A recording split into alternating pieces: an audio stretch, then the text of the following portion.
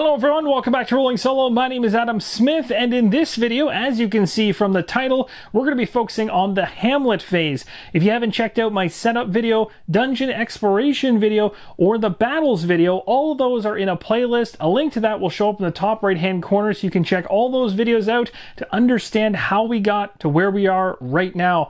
So without further ado, let's dive into the initial steps about returning to the Hamlet, and then we're going to talk about what we can do once we're there. Now, whether you were successful or not in your dive into the dungeon after questing is over, the heroes will all return to the hamlet. They're going to try and lick their wounds before they face horrors again. And when you return to the hamlet, there's a number of things you need to do. The first one is to shuffle back all discarded trinkets, curio cards, quirks, diseases, room cards, and loot boxes. The second thing to do is all conditions are removed and light on the track goes back up to 5. Then all trinkets are turned to their good side. Also, afflictions and virtues are removed and are replaced by negative and positive quirks, respectively. No life or stress is recovered. That's something that's very important to mention. And no quirks or diseases are removed. Heroes need to heal themselves by visiting locations of the Hamlet.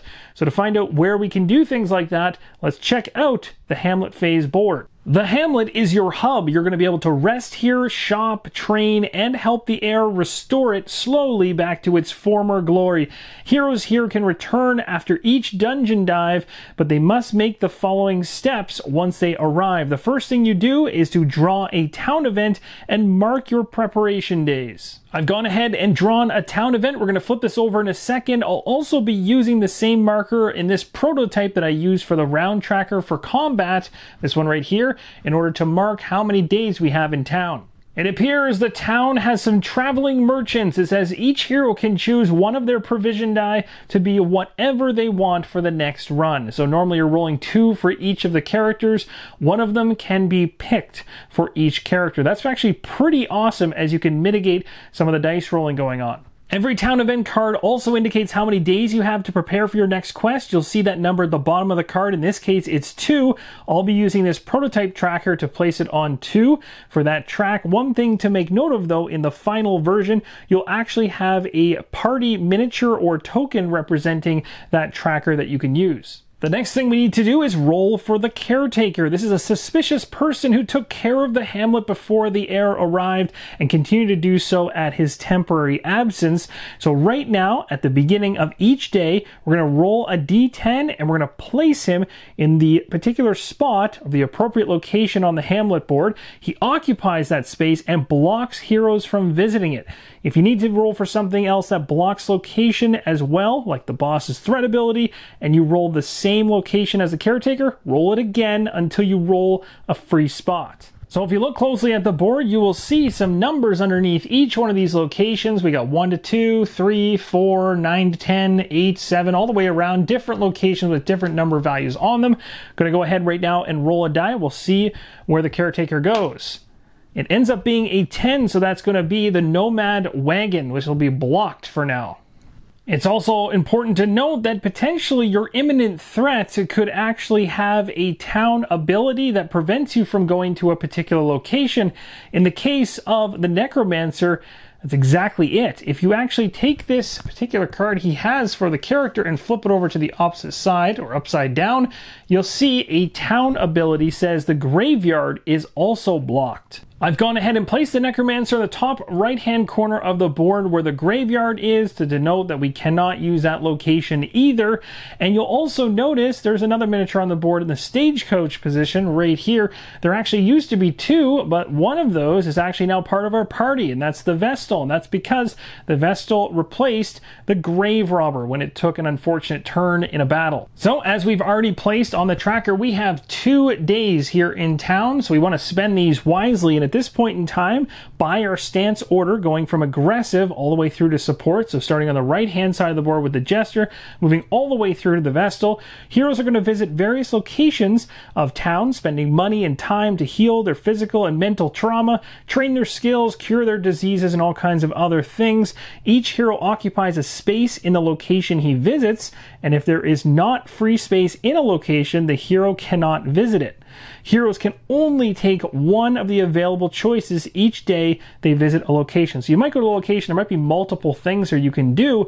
You can only pick one of them. After all your days have been spent, then you're going to go ahead as usual and draw two quest cards just like we did in setup and decide which one we want to follow. However, if it is boss time, it's near the end of your campaign, you don't draw any quests and just follow the boss quest card. Now it's worth noting right before I go ahead with the jester and choose where I'd like to place that individual, you can, if you want, while you're in town at any time during your stay, you can spend money to upgrade any locations of your choosing choosing.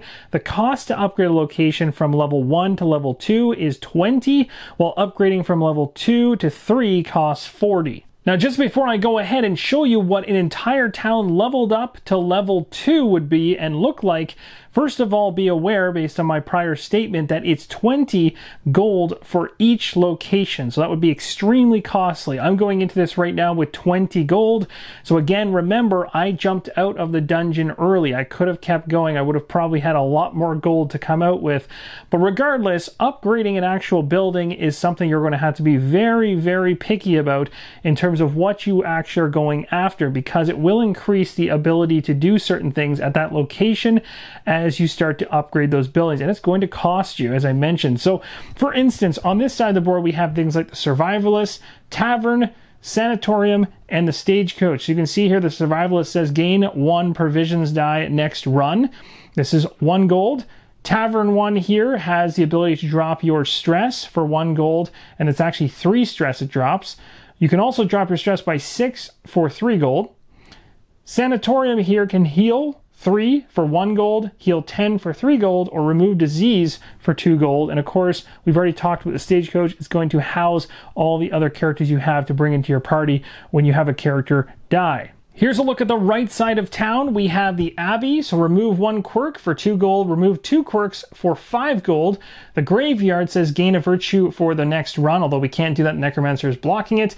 Guild, upgrade a level one hero card for four gold, three XP or upgrade a level 1 skill card for 2 gold and 2 XP. And then down there in the bottom right hand corner, we have the Blacksmith. It says gain and one off dodge or damage boost for 2 gold. And the one that the caretaker is blocking is the Nomad Wagon level 1. Three common trinkets are available when you're in town, but not when the caretaker is blocking them. Now, while I was showing you all those different locations and what you can do in them, you probably noticed that two of them don't have a level beside them. The Graveyard and the Guild, both of them don't have a 1 beside them, meaning they can't be upgraded. The only ones that can are the other 7.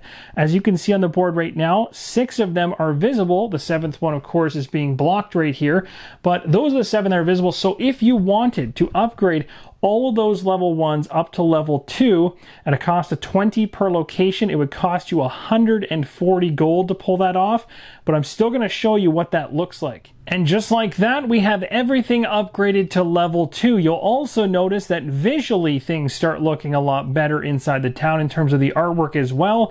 But not only that, the number of options that become available to you increase. On the left-hand side of town, Survivalist 2 says gain a provisions die next run for 1 gold or gain 2 dice for next run for 3 gold. The Tavern number 2 allows you to remove 3 stress, 6 stress, or 10 stress at 1, 3, and 7 gold respectively. The Sanatorium allows you to heal 7, 14, or remove diseases for 1, 3, and 2 respectively. The Abbey, which is on the right hand side of the board, allows you to remove a single quirk, two quirks, or gain a positive quirk for 2, 5, and 3 respectively. The Blacksmith allows you to gain a one-off dodge and a damage boost for two gold. And the Nomad Wagon allows for two common and one common trinkets to be part of the available options to get. The Stagecoach on the far left, you'll also notice says place three unused heroes. And all of these locations can be upgraded to level 3 to gain even more. So now that you understand the options available, let's go ahead and reset back to the way it was for my playthrough, and we're going to run through the two days as an example of how this Hamlet phase will work. So the Jester is going to go first, and as you can see from how much I pulled out of the dungeon run I did when I definitely bailed early in my example, I don't have a ton of XP. Now, normally if I had gone through the dungeon, I might have had a couple more, and I'd be able to do something like head to the guild and be able to upgrade a level 1 hero card or upgrade a level 1 skill card. But I'm going to have to wait for another day for that. Instead, I'm going to have the Jester go to the Survivalist and for one gold be able to gain an additional provision die next run. Now this is something that's very important and you'll definitely want to use this when you're playing through a campaign of Darkest Dungeon, the board game. But for me in this video, seeing as this is more of an overview of the Hamlet phase, I wanted to mention that there are specific town powers, just like I talked about in my setup video, for every single character in the game.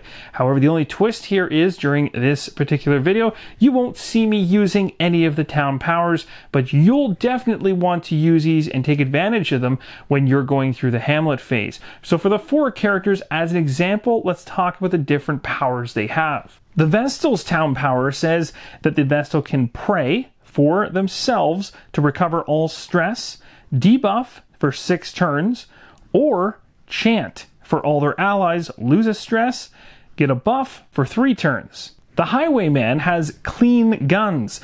Start the next dungeon with a buff for six turns. The Arbalest town power is field dressing. Choose yourself or an ally and roll a d10. If you get a 1 to a 3, you can heal 6, 4 to a 8, heal 3, and 9 to a 10, you increase your stress by 2. Finally, the Jester has a town power that states every rose has its thorn.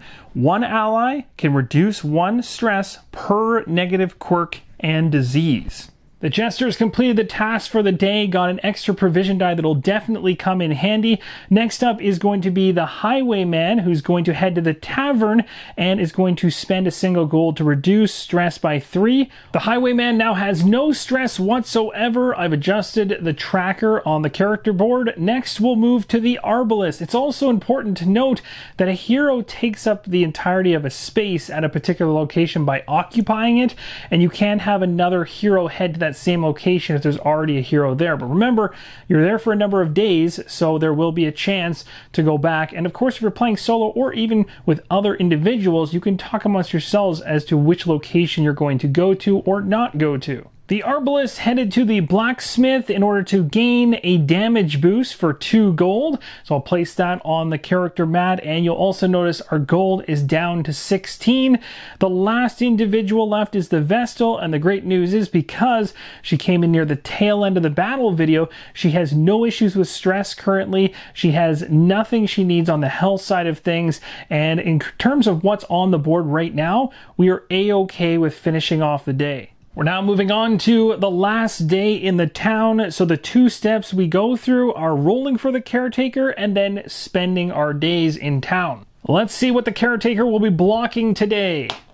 Four, that is going to be the sanatorium, which is actually pretty good because we have nobody that needs to heal, so it's actually nice. And you can see here now we have the ability to actually deal with trinkets. The Jester really likes the idea of going up to the Survivalist and purchasing for one gold the ability to roll an additional provision die on the next run. The Highwayman has a default value of one dodge and really likes the idea of heading to the blacksmith to pay two gold, as I already have, to gain a one-off dodge. The Arbalest is most interested in checking out the Nomad Wagon because the Arbalest doesn't have any trinkets, whereas the Highwayman already has a trinket, and so does the Jester, which is why they didn't go to that Nomad Wagon right away. So for the Arbalest, and again, it's also worth noting that the Jester or the Highwayman could have gone to the Nomad Wagon if they wanted to, and they could get rid of one of the trinkets that they already have, but being at level 1, they can only have one trinket.